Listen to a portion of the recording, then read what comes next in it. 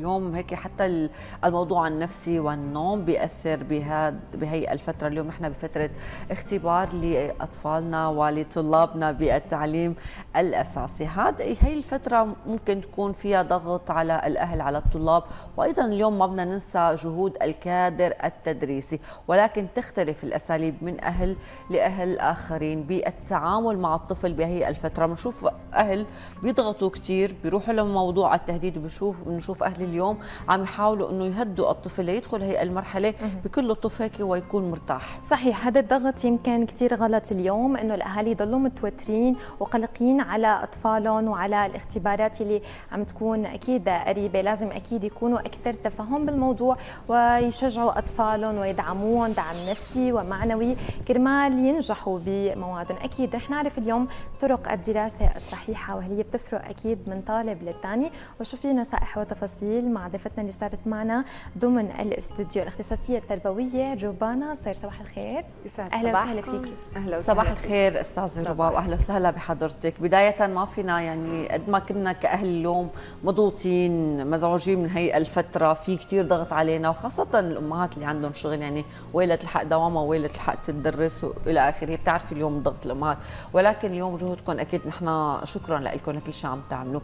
خلينا نحكي بداية عن فترة الاختبارات اللي عم بتصير كل فترة قد إيه مهم اليوم بترسيخ الذاكرة عند الطفل وترسيخ المعلومات التعليمية.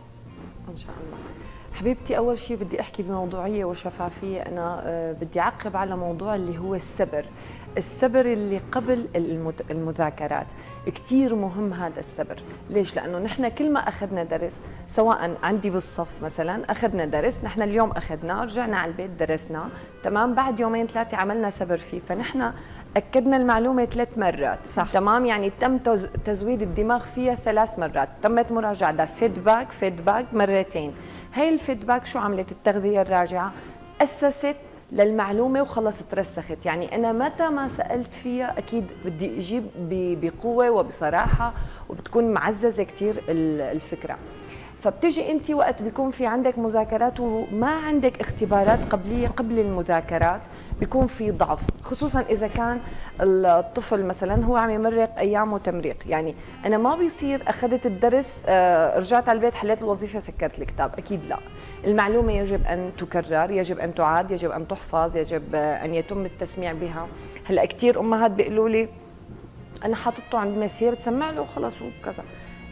قديش مهم انت تكوني على تواصل شو عم يحفظ وشو عنده معلومات لحتى الاختبارات تعطي نتائج. التحصيل العلمي الممتاز ما بيجي آه، بس من إني أنا أحطه عند مدرسة أو هو أعرف إنه أنا ابني ذكي. مو بالضرورة الذكاء يعني تحصيل علمي عالي. مو بالضرورة الذكاء إنه أنا ابني أخذ الدرس بالصف معناتها هو حفظه وخلص هو في يروح على الاختبار يعني بعض الأمهات بيقولوا لي يعني أنا شو بعمل؟ معلش اعيدي السبر اللي محطوط له لابنك أعيدي له إياه ولو بالبيت.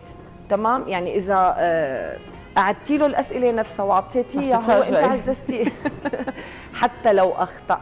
مو عيب. نحن الخطأ هو طريق الصواب. هي بالدرجة الأولى. الدرجة الثانية يخطأ عندي أحسن ما يخطأ بالصف. نحن مو موضوع الخطأ والصح قد مو موضوع نعزز له ثقته بنفسه. تمام. ما بيحب الطفل آه، يكون قدام رفقاته لا يفقه أو هن جابوا أكثر منه. كثير بينقهر. يعني هي بيأثر النفسيه وهي أهم نقطة النفسية قبل الاختبارات. تمام. أستاذة ربا خلينا نوضح. اليوم في فروقات فردية أكيد بين أكيد.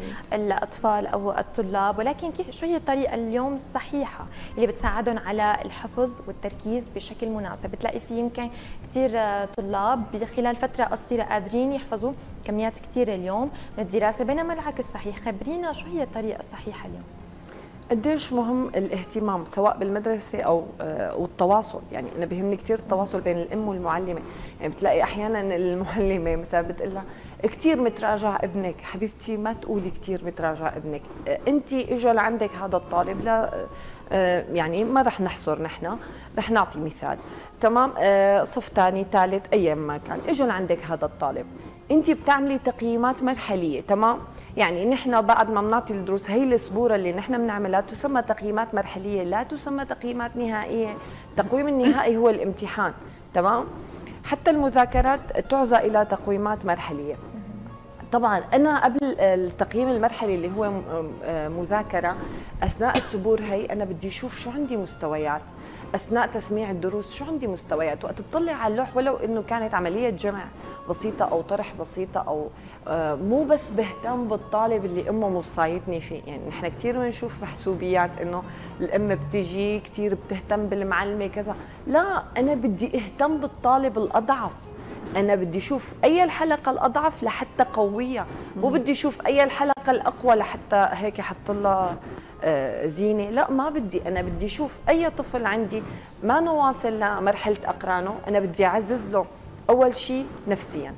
يعني كثير بدي أنا أطلعه كثير بدي أثني عليه كثير بدي أعزز له إذا هو حل صح. ليش؟ لحتى يصير عنده ثقة بنفسه يقدر يعطي أكثر من هيك. أكيد التواصل بيني وبين الأم كثير مهم إني أنا دائما احطها بصورة الوضع.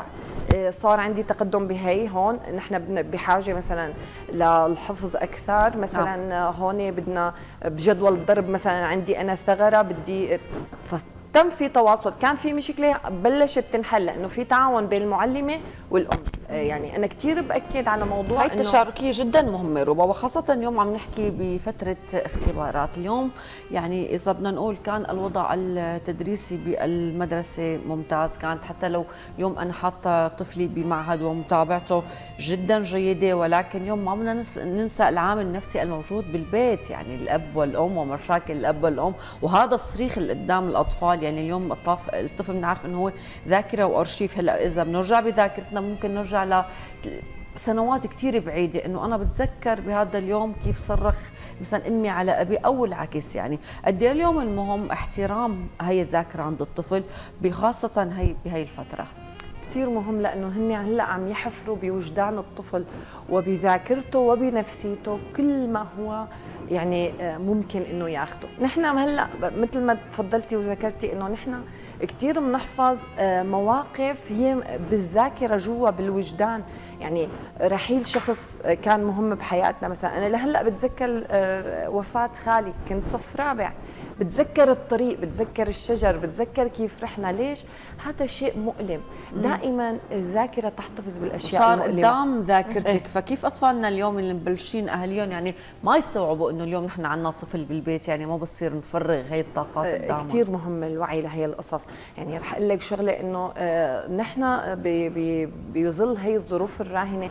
بتحسي الأشخاص صاروا عاطفيين جدا. يعني طاقة الغضب هي عم مستفحلة فينا. طاقة الكلام أو الثرثرة بالمواضيع زيادة. طب ما عليه آه يعني راعوا إنه في أطفال متلقيين يعني هن عم يمتصوا. أنتم عم تعطوا هن عم يمتصوا. يعني آه، في أحد المرات آه طفل عم آه، يدندن بشغلة فقال له ابوه شو هذا قام قال له مو أنت بتعمل هيك؟ فشوفوا قديش درجة الامتصاص يعني أنا آه، مقلد لك تماما. فما بالك بأشياء سيئة؟ دائما الأشياء السيئة تخزن في الذاكرة البعيدة وتبقى. نعم. وتبقى وتؤلمنا كما لو أنه حدث الآن. صحيح. فكتير بيهمني أنا إنه عن جد ما أحط ذاكرة سيئة لابني وكثير بيهمني بوقت الاختبارات والمذاكرات إني أنا عدا عن المشاكل الأسرية أو الصريخ أو عدم التفاهم أو الرواء. خليني أحكي عن موضوع إنه أنا ما خانق ابني. آه بكرة بدك عندك مذاكرة روح دروس انت بدك تدرسي حبيبتي. انت بدك تكوني مشرفة على التدريس. صحيح. انت بدك تكوني فوق راسه. بدك تجيبي له كاسة العصير كاسة الشوكولا. ما عليه. كاسه الحليب أي شيء بس إنه أنت بدك تكوني سند له ما فينك أنت آه، تكوني سبب لحتى تنزلي له معنوياته. يعني تمام ذكرتي نقطة كثير مهمة بينما العكس بتلاقي كثير من الأهالي بتصير تهدد.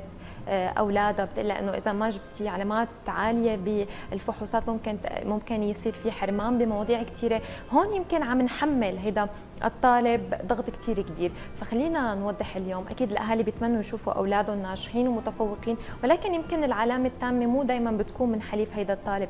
فلازم دائما نراعي هي الفكرة. دائما لازم تراعي الأم إنه أنا مثل ما في طالب متفوق في طالب جيد وفي طالب وسط. ومو دائما اعمل صخب. هلأ كلياتنا بنتمنى إنه أولادنا يصيروا يكونوا مميزين وكلياتنا بنحب إنه ابننا يكون جايب العلامة التامة وأنا منهم. يعني مو شبح العلامة التامة ومو إني خوفه بالعلامة التامة بس أنا متى ما بلشت أتنازل عن نص علامة علامة نص علامة علامة أنا تنازلت خلص ساومت على التميز. العلامة التامة هي تميز. أنا برأيي إني أنا دخلها لدماغ طفلي إني أنا ما ساوم على هي العلامة. هي العلامة بدها تكون دائما تامة مشانك أنت. لأنك أنت متميز لأني أنا واثقة فيك. تمام؟ التحصيل العلمي الممتاز هذا بيجي من من قديش الأهل عاطيين دفعه ثقه لأولادهم. نعم. يعني أنا بتطلع بابني بقول له ماما أنت شاطر أنا كثير محظوظة إنه أنت أبني. آه أنا بعرف إنك شاطر. لا ناقصني نص علامة هديك اليوم. وبلش بك حبيبي يا ماما كلياتنا بينقصنا علامات بس نحن بنتعلم من خطأنا إنه دائما نحن بنكسر على آه، يعني أي خطأ بنعمله بنروح شو هي؟ نقطة الضعف أنا بدرب عليها أكثر مشان وما بتسرع. يعني دائما أنا أعطي ابني نصائح ما بتسرع بحل بهدوء آه، بفكر ثم بأجب آه، ما في داعي أنا أعطي الأنسة ورقة الأسئلة أول شيء تلاحظي في سباق بالمذاكرات تقول لي بنتي أنا سلمت أول وحدة إيه الله يعطيكي العافية. أنا قلت لك ما تطلعي للأخير. فكل هي الشغلات تتوحد مع بعضها فكتير مهم. آه، الجو مع المعلمة أكيد يعطيهم ألف عافية ما حدا مقصر. الأم قديش واعية الأب قديش بوقت المذاكرات يكون ريلاكس وما في داعي للمشاحنات شو ما كانت. يمرق أي موضوع تمريق أكيد. إن شاء الله هيك و... اليوم هدول نصائح بيوصلوا لكل حدا اليوم. خاصة بهي الفترة اليوم هيك الوقت داهمنا معك ربا ومعلومات جدا مهمة. وبدي أرجع لكم يعطيكم ألف ألف عافية لكل الجهود اللي عم تشتغلوا عليها ضمن الكادر التدريسي. تحياتنا من خلالك لكل الكادر. أهلا وسهلا بحضرتك. أهلا وسهلا فيك حبيبتي. شكرا لك أستاذة ربا. أكيد يعطيكم ألف عافية على كل جهودكم وأكيد بالتوفيق والنجاح لكل طلابنا. أهلا وسهلا.